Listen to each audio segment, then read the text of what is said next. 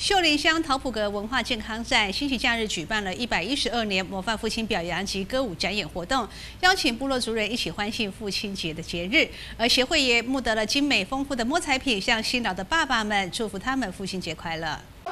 在主持人和立委高金素梅高唱感恩的心，一百二十二年模范父亲及歌舞展演活动下午正式展开。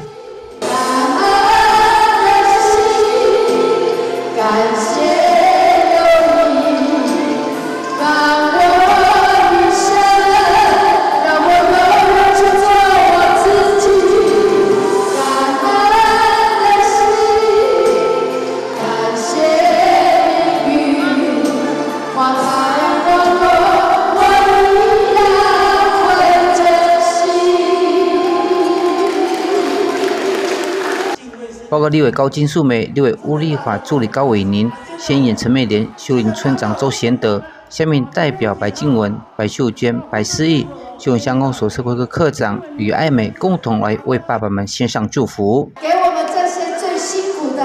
家里面的支柱，我们的爸爸们，跟你们说声辛苦你们了，谢谢你们，谢谢你们一生奉献照顾在。我们的家里面，让家里面很好，谢谢爸爸们，谢谢。今天是我们公公举办一百一十二年的呃模范父亲的表扬哈，在这里也先祝福我们，也恭喜我们的爸爸哈，父亲节快乐。呃，其实爸爸就像山一样哈，照顾着我们的家，所以在这里今天也是我们的公公呃举办这样的活动非常有意义啊。希望今天爸爸们都能够很开心，呃，度过一个这美好的下午。也祝福我们在座的所有的朋友们都能够身体健康，事事如意。花莲县秀林乡文教运动协会理事长江淑华表示，一年一度的模范父亲节活动，就是要感谢辛苦爸爸们在家里打拼。桃埔个文化健康展美也一同来欢庆，就是要活络社区的凝聚力。文件站的赵福元也带来健康操来让大家一起来开怀。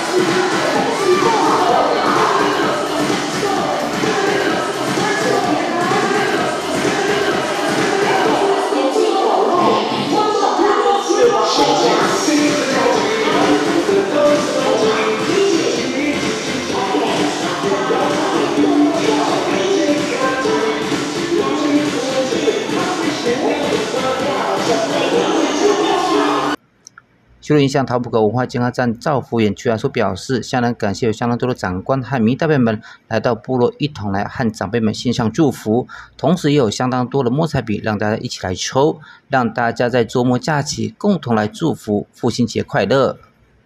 接着，中央新闻报道。